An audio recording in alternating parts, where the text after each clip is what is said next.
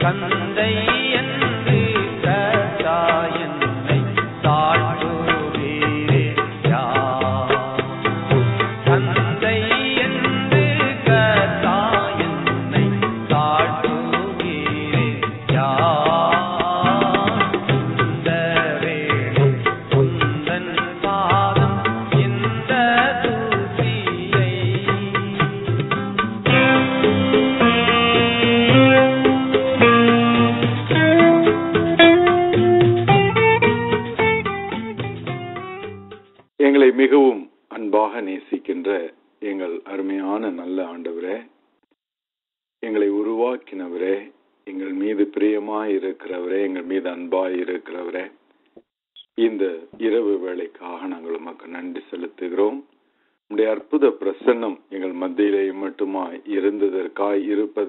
நன்றி சுவாமி.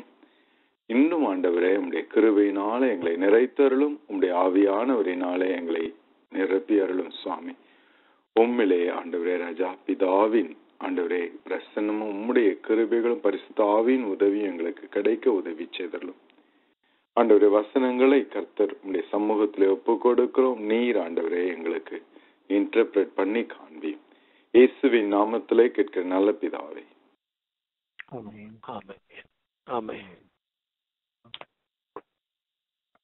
திருமறையின் காட்சிகளை நாம் தியானித்து வருகிறோம். எல்லா காட்சிகளும் நமக்கு இன்பத்தை கொடுப்பதாக இருக்காது. ஏனென்றால் ஆண்டவர் மனிதர்களை எப்படியாய் நேசிக்கிறார்?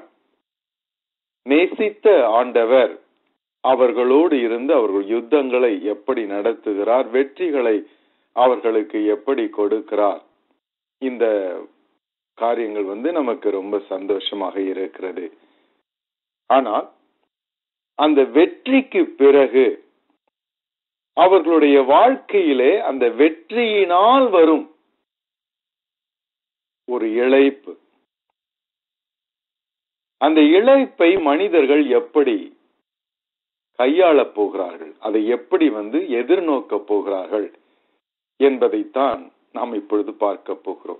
நிறைய பேருக்கு தோல்வியினால் துவண்டு போனதை எப்படி தாங்கிக் கொள்ளப் போகிறோம் என்று வருத்தம் இருக்கும். வெற்றியினால் வருகிற இழைப்பை எப்படி தாங்கிக் கொள்ளப் போகிறோம் என்பதை குறித்து யாருமே யோசிப்பதில்லை. ஏனென்றால் அவர்கள் என்ன நினைக்கிறார்கள் என்றால் வெற்றி சந்தோஷத்தை கொடுந்து கொண்டு வரும்னு நினைக்கிறாங்க. வெற்றி நட்பை கொண்டு வரும் என்று சொல்லி நினைக்கிறாங்க.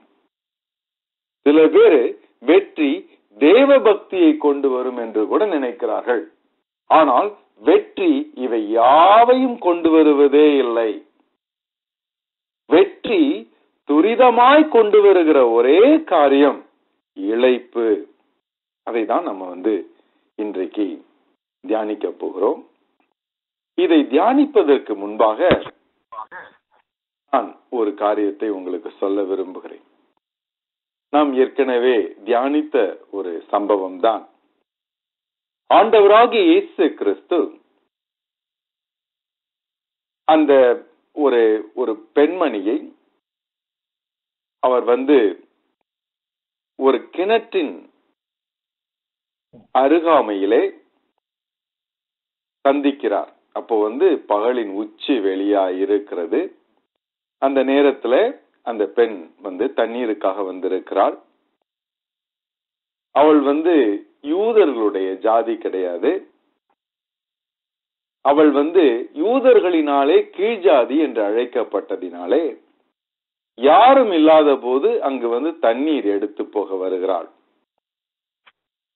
சமாரிய பெண் என்று சொல்லி அவளை குறித்து வேதத்திலே நாம் வாசிக்கிறோம். அவளுடைய பெயர் நமக்கு தெரியாது.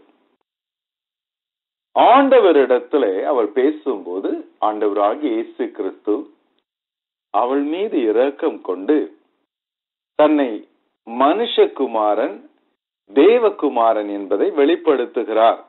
எப்படி சொல்லுகிறார் என்றால் ஜீவ தண்ணீரை பற்றி அவரிடத்துல அவளிடத்திலே அவர் பேசுகிறார். ஒரு காலம் தாகம் இல்லாத ஒரு ஜீவ தண்ணீர் அவரிடத்தில் இருக்கிறது என்பதை பற்றி அவர் சொல்வதை நாம் பார்க்கிறோம்.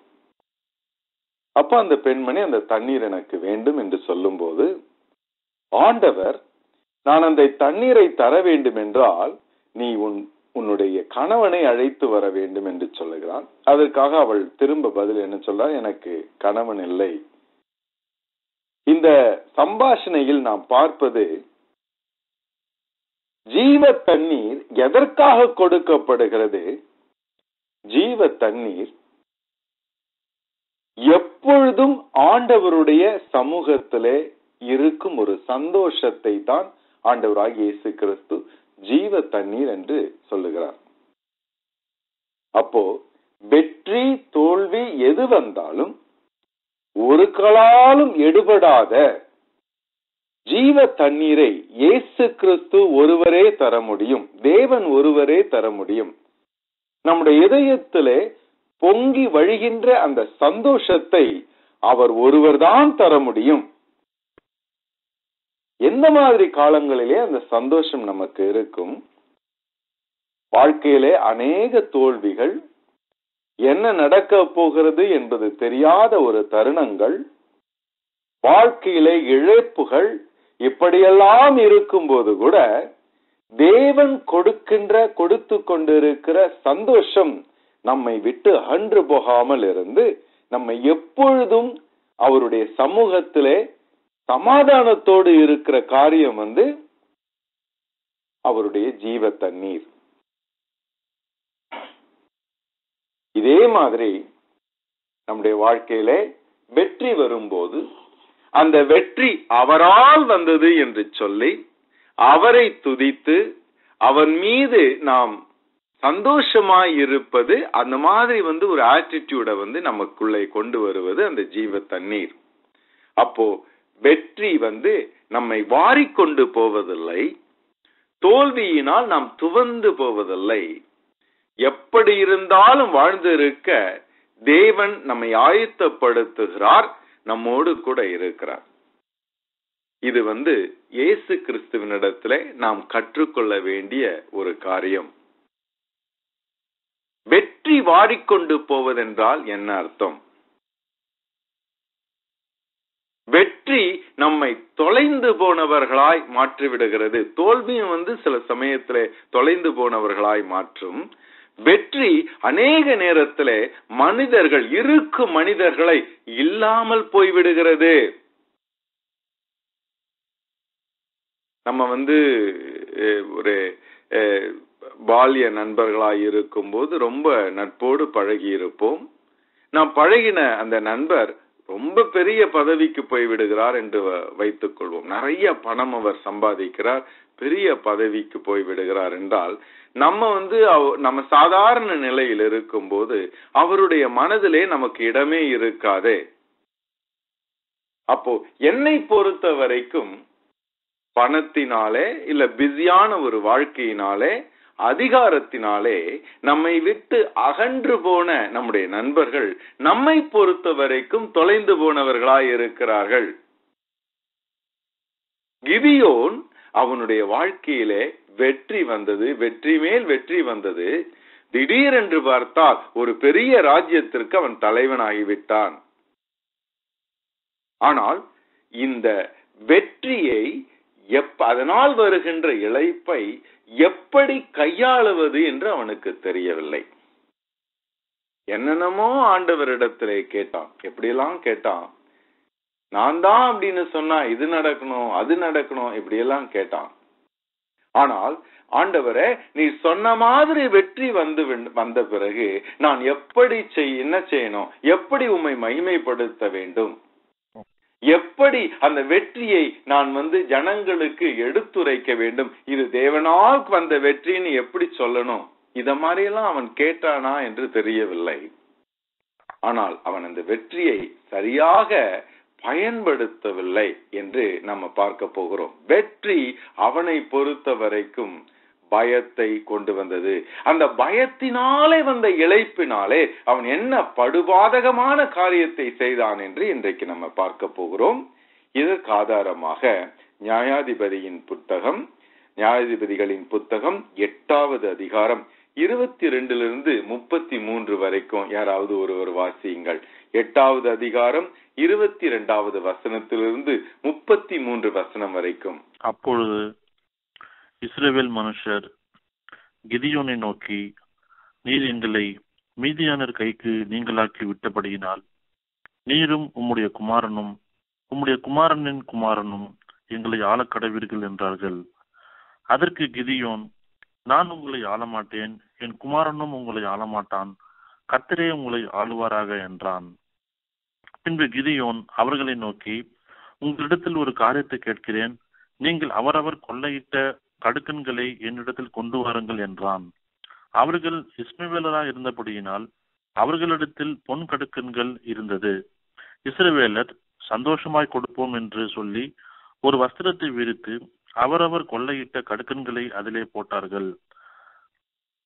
பிறை சிந்தாக்குகளும் பாரங்களும் மீதியானரின் ராஜாக்கள் போர்த்து கொண்டிருந்த ரத்தாம்பரங்களும் அவர்களுடைய ஒட்டங்களின் கழுத்துகளில் இருந்த சரப்பணிகளும் அல்லாமல் அவன் கேட்டு வாங்கின பொன் கடுக்கன்களின் நிறை ஆயிரத்தி எழுநூறு பொன் சேக்கலின் நிறையா இருந்தது அதனால் கிதியோன் ஒரு ஏபோத்தை உண்டாக்கி அதை தன் ஊரான ஒப்ராவிலே வைத்தான். இஸ்ரவேர் எல்லாரும் அதை பின்பற்றி சோரம் போனார்கள். அது கிதியோனுக்கும் அவன் வீட்டாருக்கும் கண்ணியாயிற்று இந்த பிரகாரம் மீதியானர் மீதியானியர் திரும்ப தலையெடுக்க கூடாதபடிக்கு இஸ்ரேவேல் புத்திரருக்கு முன்பாக தாழ்த்தப்பட்டார்கள். தேசமானது கிதியோனின் நாட்களில் நாற்பது வருஷம் அமைதலா இருந்தது யோவாசின் குமாரனாகிய எருபாகால் போய் தன் வீட்டிலே வாசமாக இருந்தான் கிதியோனுக்கு அநேகம் ஸ்திரீகள் இருந்தார்கள். அவனுடைய கர்ப்ப பிறப்பான குமாரர் எழுபது பேர். சீகேமில் இருந்த அவனுடைய மறுமனையாட்டியும் அவனுக்கு ஒரு குமாரனை பெற்றால் அவனுக்கு அபிமெலேக்கு என்று பெயரிட்டான். பின்பு யோவாசின் குமாரனாகிய கிதியோன் நல்ல விருத்தாப்பியத்திலே மறித்து ஒப்ராவிலே தன் தகப்பனாகிய யோவாஸ் என்னும் அபியஸ்ரனுடைய கல்லறையில் அடக்கம் பண்ணப்பட்டான். கிதியோன் மறித்த பின் இஸ்ரேவேல் புத்திரர் திரும்பவும் பாகால்களை பின்பற்றி சோரம் போய் பாகால் பேரித்தை தங்களுக்கு தேவனாக வைத்துக் கொண்டார்கள். இஸ்ரேவேல் புத்திரர் தங்களை சுற்றிலும் இருந்த தங்கள் எல்லா சத்துருக்களின் கையின் நின்றும் தங்களை ரட்சித்து தங்கள் தேவனாகிய கர்த்தரை நினையாமலும் கிதியோன் என்னும் எரு எருபாக்கால் இஸ்ரேலுக்கு செய்த சகல நன்மைக்கு தக்க தயவை அவன் வீட்டாருக்கு பாராட்டாமலும் போனார்கள். எவ்வளவு சோகமாய் கிதியோனுடைய வாழ்க்கை முடிகிறது என்பதை பாருங்கள். அவன் என்ன தவறு செய்தான்? அதுதான் நம்ம வந்து இன்னைக்கு வாசித்தோம். கிதியோனுக்கு வெற்றி வந்து விட்டது. வெற்றி வந்த பிறகு ஜனங்கள் எல்லாம் நம்ம ஜனங்களுக்கு வந்து யாரையுமே ரொம்ப பெருசா தூக்கி வைக்கிறது ரொம்ப பிடிக்கும். யாராவது ஒருவர் மகிமையான ஒரு காரியத்துல இருந்துடணும். அவரை சுற்றி நிறைய ஜால்ராக்கள் உருவாக்கு உருவாங்க. தனி மனித வழிபாடு உலகம் முழுக்க ஜாஸ்தி. இஸ்ரவேல் ஜனங்கள் எப்படியா இந்த வெற்றியை அவர்கள் எடுத்துக் கொண்டிருக்க வேண்டும் என்றால் உண்மையிலே அந்த என்ன நடந்தது? நிச்சயமா சொல்லியிருப்பாங்க. முன்னூறு பேரு எவ்வளவோ ஆயிரக்கணக்கிலே வீரர்கள் இருந்தார்கள். நாங்க ரொம்ப சாதாரணமாய் அற்பமாய் இருக்கிற எங்களை கொண்டு எங்களுக்கு இந்த ரட்சிப்பை தேவன் கொடுத்தார் என்று சொன்னா உடனே இஸ்ரவேல் ஜனங்கள் எல்லாம் கூடி அந்த தேவனை ஆராதித்து முழுமையாய் தங்களிடத்தில் இருந்த எல்லா விக்கிரகங்களையும் தூக்கி போட்டுட்டு அந்த தேவனை பின்பற்ற மனது வைத்தார்கள். கிதியோனுடைய வாழ்க்கையில ஒரு பெரிய எழுப்புதல் உண்டாயிற்று. இப்படியெல்லாம் இல்லை. எப்படி இருக்கிறது இந்த வெற்றிக்கு காரணம் கிதியோன் தான் என்று அவர்கள் நினைக்கிறார்கள். தேவன் அதை செய்தார். கிதியோன் வந்து ஒரு வாய்க்காலா இருந்தான். ஒரு ஊடகமா இருந்தான் என்று சொல்லி அவர்கள் நினையாமல் எல்லாம் அவனாலே வந்தது. அவன் ரொம்ப ஸ்மார்ட் ரொம்ப புத்திசாலித்தனமா இதெல்லாம் பிளான் பண்ணி இந்த தேசத்தை விடுதலை பண்ணி கொடுத்தான் என்று சொல்லி தவறாய் நினைக்கிறார்கள். அப்போ அவ்வளவு பெரிய ரட்சிப்பை கொடுத்த அவனுக்கு வெகுமதி கொடுக்க வேண்டும் அல்லவா ராஜாவாய் மாற்றலாம் என்று பார்க்கிறார்கள். அவனும் அதுக்கப்புறம் அவங்க வந்து பரம்பரை பரம்பரையா அவங்களுக்கு வந்து கிரீடம் கொடுக்க வேண்டும் என்று நினைக்கிறாங்க. இது எதுக்காக ஜனங்கள் வந்து ஏன் வந்து நம்மிடையே ரொம்ப பயங்கரமான அதாவது இந்த உலகத்திலே இருக்கிற ராக் ஸ்டாரை விட இந்த உலகத்திலே காணப்படுகிற திரைப்பட நடிகர்களை விட அதிகமாய் போற்றப்படுகிற ஒர்ஷிப் பண்ணப்படுகிற அநேக தலைவர்கள் நம்மிடத்திலே உண்டு. ஏன் இந்த மாதிரி நடக்கிறது? ஏன் இந்த மாதிரி தனி மனித வழிபாடு உலகெங்கும் இருக்கிறது என்பதை நாம் தியானிக்க வேண்டும். ஏன் இருக்கு? இன்னைக்கு காலையில நீங்க ஃபேஸ்புக்க ஓபன் பண்ணியிருந்தா உலகம் ஃபுல்லா இன்னைக்கு காலையில ஒரு பில்லியன் நாட்கள் நன்றாக கவனியுங்கள் ஒரு பில்லியன் நாட்கள் பேஸ்புக்கை ஓபன் பண்ணாங்களாம். அதாவது இந்த உலகத்தின் ஜனத்தொகையிலே கிட்டத்தட்ட இருபது விழுக்காடுக்கு மேல பேஸ்புக்ல அவர்கள் பரிச்சயம் ஆகிவிட்டார்கள் அப்போ இந்த உலகத்துல இருந்த எந்த ஊடகமும் பேஸ்புக்க மாதிரி பிரபல்யமாய் வருவதில்லை. அந்த மாதிரி வந்து பேஸ்புக் மேல எல்லாரும் பரிவாய் இருக்கிறார்கள். இன்னொரு செய்தி நார்த் அதாவது அமெரிக்க ஐக்கிய நாடுகளும் கனடாவுடன் தான் பேஸ்புக் அதிகமாய் பார்ப்பதில்லையா அமெரிக்க ஐக்கிய நாடுகளும் கனடாவையும் தவிர இருக்கிற அநேக நாடுகளிலே பேஸ்புக் வந்து அவர்களுடைய வாழ்க்கையிலே பிரதானமான ஒரு காரியமாய் இருக்கிறது. என்ன காரணம்? இந்த பேஸ்புக் வந்து இந்த அளவுக்கு பாப்புலரா இருப்பதற்கு காரணம் தனி மனித வழிபாடு. அதாவது மனிதர்கள் அவர்கள் வந்து ரொம்ப முக்கியமானவர்களாய் அவர்கள் மனதில் எ- எண்ணிக்கொண்டிருக்கிறார்கள். அந்த முக்கியமான அந்த அந்த எண்ணத்திற்கு அது வடிகாலாய் இருக்கிறது. நம்ம எல்லாருமே வந்து நம்மளை ஹீரோவா நினைத்து கொண்டு இருக்கிறோம் அது தவறு இல்லை. ஆண்டவரே நம்மளை ஹீரோன்னு நினைச்சிட்டு இருக்காரு ஆண்டவர் நினைச்ச மாதிரி நம்மளும் நம்மளை பற்றி நினைப்பது தவறு இல்லை. ஆனால் எல்லோரும் நம்மை மாதிரி முக்கியமானவர்கள். நானும் முக்கியமானவன் அப்படின்னு நினைக்கிறது இல்ல நம்ம என்ன நினைக்கிறோம்? இல்ல எப்படி நினைப்பதற்காக தூண்டப்படுகிறோம்? நான் சூப்பரான ஆளு மத்தவங்க எல்லாம் என்ன மாதிரி இல்ல அவங்க என்னை விட கம்மி. அப்போ ரொம்ப பிரபல்யமான ஒரு தலைவர் அவர் வந்து ஸ்பிரிச்சுவலா இருந்தாலும் சரி நான் ஸ்பிரிச்சுவலா இருந்தாலும் சரி அவர் அந்த மாதிரி ஒரு பெரிய பிரபல்யமான ஒரு இடத்துல இருக்கிறார். அவருக்கு இருபது கார் இருக்கிறது அவருக்கு ரொம்ப பணம் இருக்கிறது அவர் எல்லா நாடுகளிலும் அவருக்கு வீடு இருக்கு. இந்த மாதிரியான காரியங்கள் அவரை சுற்றி இருக்கும் போது என்னை அவரிடத்தில் வைத்து நான் பார்ப்பதினாலே அந்த மனிதனை எனக்கு ரொம்ப பிடித்து விடுகிறது. இதே கடவுளுக்கு ரொம்பமா உத்தமமா வேலை செய்யற மனுஷன் சாப்பாட்டுக்கே வழி இல்லாம ரொம்ப புவரா சைக்கிள்ல போய்கிட்டு எதுவுமே பணம் இல்லாம இருந்தால் அவரை பார்க்கும்போது நான் இப்படிப்பட்ட ஒரு நிலைமைக்கு வரக்கூடாது என்று சொல்லி நாம் அவரை வெறுக்க ஆரம்பிக்கிறோம். எல்லா மனிதர்களையும் சமமாக நம்முடைய இதயத்திலே இருத்தி வைப்பதில்லை. வாழ்க்கையின் நிறைய பணத்தையும் அதிகாரத்தையும் சம்பாதித்தவர்களை பார்த்து நாம் விரும்புகிறோம். அந்த விருப்பத்தின் காரணம் நம்மை அவர்களுடைய இதயத்திலே வைத்து பார்க்கிறோம். அந்த மாதிரி அந்த மாதிரி ஒரு இருப்பிடத்திலே நம்மை வைத்து நிலைநிறுத்துவதினாலே நாம வந்து அவர்களை வந்து அதிகமாய் நம்முடைய இதயத்துல நேசிக்க ஆரம்பிக்கிறோம். பிரபல்யமானவர்களை நம்மின் பிரதிபலிப்புகளாக நம்ம காண்கிறோம். இடியோனிடத்திலே வந்து ராஜா வாகனம்னு சொல்லி கெஞ்சுறாங்க.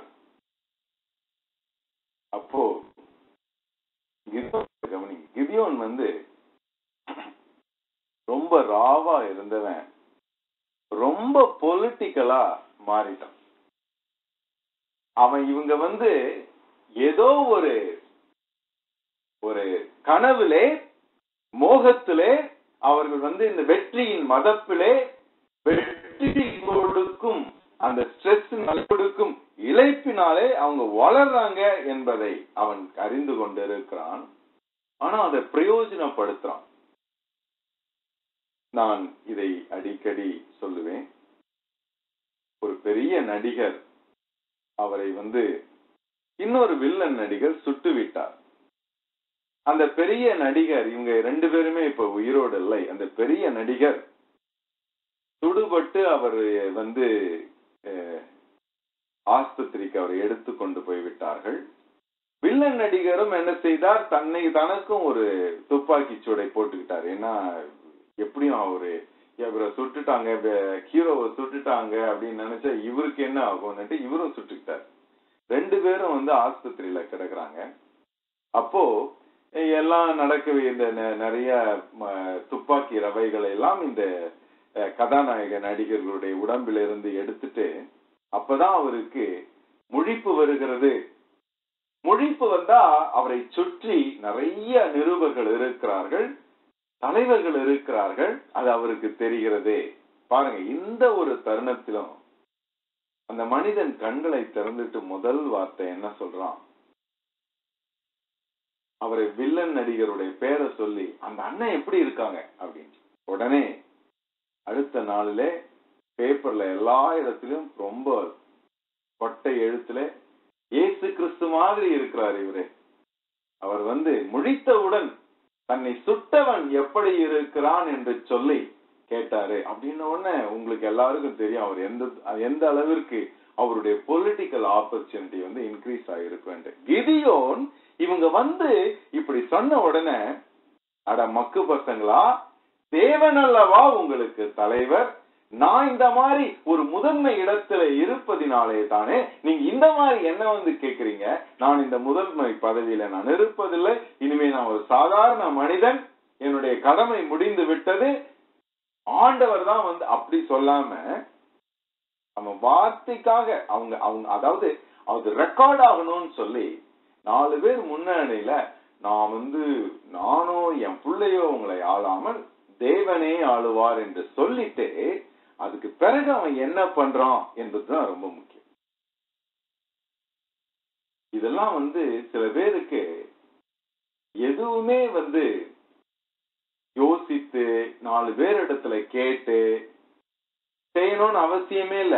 அவங்களுக்குள்ள அந்த கன்னிங்னஸ் வந்து அவங்களுக்கு ஒன்னாயிடுறதுனால சரளமாய் துரிதமாய் யோசிக்காமல் வருகிறது. அதாவது அந்த பொலிட்டிக்கல் நேச்சர் அந்த மனிதனோடு ஒன்றாயிடுறதுனால ஸ்ட்ரெஸ் மேனேஜ்மெண்ட் அதாவது இழைப்பை எப்படி நடத்துகிறான்னா உடனே என்ன நினைக்கிறான்? அடடடடா நம்ம இப்படி சொல்லிட்டோமே. தேவனே உண்மை ஆளுவார்கள் என்று சொல்லிவிட்டோமே. உண்மையிலேயே இந்த பசங்க போய் தேவன் தான் நமக்கு வந்து ராஜா. கிதியோன் வந்து ஒரு ஊடகமாய் இருந்தான். அவன் ஒரு வழியாகத்தான் இருந்தான். அவன் நம்மை மாதிரி ஒரு சாதாரண மனுஷன்னு நினைச்சு நம்மையும் நம்முடைய பிள்ளைங்களையும் நடுத்தருல விட்டுட்டா என்ன செய்யறது? இந்த மகிமை இந்த கம்பீரம் இந்த லைஃப் எனக்கும் என் பிள்ளைங்களுக்கும் இல்லாம போனா நான் என்ன செய்யறது? அப்படின்னு சொல்லி இம்மீடியட்டா துரிதமாய் செல்றான். உங்களிடத்துல இருக்கிற பொண்ணெல்லாம் எடுத்துட்டு வாங்கன்னு. உங்க எல்லாருக்கும் தெரியும். இதே மாதிரி இன்னொருத்தர் சொன்னார். உங்ககிட்ட இருக்கிற பொண்ணெல்லாம் எடுத்துட்டு வாங்க தங்கத்தெல்லாம் எடுத்துட்டு வாங்கன்னு ஆரோன் சொன்னா எல்லாரும் கொண்டு வந்து போட்டாங்க. அதை வைத்து ஒரு பெரிய விக்கிரகத்தை ஏற்படுத்தினான் ஆரோன். இது ஒன்றுமே என்னால கிடையாது. இந்த மாதிரி திரும்ப திரும்ப சொல்லி சொல்லி அந்த வெற்றியினால் வருகிற இழப்பை நாம வந்து வெற்றி கொள்ள வேண்டும். ஜீவ தண்ணீரை கொடுப்பது யார்? ஜீவ தண்ணீரை கொடுப்பது ஏசு கிறிஸ்து. வெற்றி சந்தோஷத்தை கொடுப்பதில்லை. ஏசு கிறிஸ்து மட்டுமே சந்தோஷத்தை கொடு என்பதை நாம் அறிந்து கொள்ள வேண்டும். நம்முடைய வாழ்க்கையில யோசிப்போம். வெற்றிகளை நாம் எப்படி அணுகுகிறோம்? வெற்றினா நான் பெரிய வெற்றி எல்லாம் சொல்லல. சிறு சிறு வெற்றிகளை சொல்லுகிறேன். நாம ரொம்ப நாட்கள் எதிர்பார்த்திருக்கிற ஒரு ஃபண்டிங்கோ இல்ல செக்கோ நமக்கு போஸ்டர்ல வரும்போது அது ஒரு வெற்றி தான். அந்த வெற்றியை நாம் எப்படி எதிர்கொள்கிறோம்? நம்முடைய பிள்ளை நாம் எதிர்பார்க்கிறதுக்கு அதிகமாய் நன்றாக படித்து நல்ல மார்க்குகள் வாங்க அதை நம்ம கிட்ட கொண்டு வந்து கொடுக்குது. அந்த வெற்றியை நாம் எப்படி கையாளுகிறோம்? நம்மளுடைய பாஸ் நம்மை கூப்பிட்டு நமக்கு ஒரு பெரிய ஊதிய உயர்வை கொடுத்து சந்தோஷமாய் நம்மை பாராட்டுகிறார்.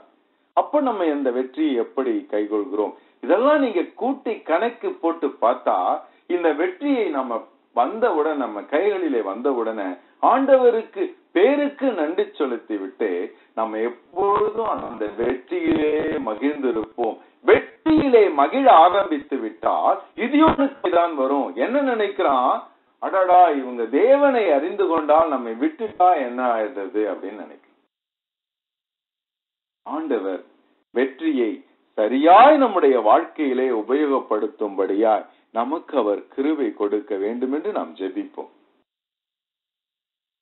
தேவன் வெற்றியை நம்மிடத்துல ஆசீர்வதிக்க அவரிடத்துல ஜெபிப்போம்.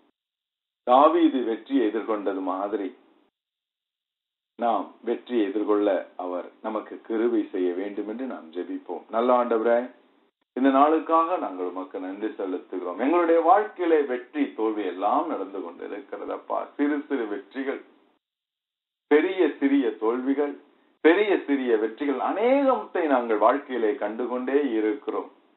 எது நடந்தாலும் இடத்திலே சந்தோஷமாய் இருக்கும்படியாய் கிருவைத்தார் வெற்றியும் தோல்வியும் நீர் உடைய ரிலேஷன்ஷிப்பை எங்களிடத்திலே தீர்மானிப்பதில்லை என்பதை நாங்கள் உணர எங்களுக்கு உதவி செய்தோம் வெற்றி சிறு வெற்றியா இருந்தாலும் பெரிய வெற்றிகளா இருந்தாலும் அதை சரியாய் அணுகவும் அந்த மகிமையெல்லாம் உமக்கு கொடுத்து ஆண்டவரே ஒரு சாதாரண ஒரு மனநிலையோடு நாங்கள் இருக்க எங்களுக்கு உதவி செய்தோம் ஆண்டவரே இந்த வசனங்கள் இன்றைக்கு நாங்கள் வாசித்த ஒவ்வொரு வசனத்தையும் கர்த்தர் ஆசீர்வதித்தரலும் சுவாமி.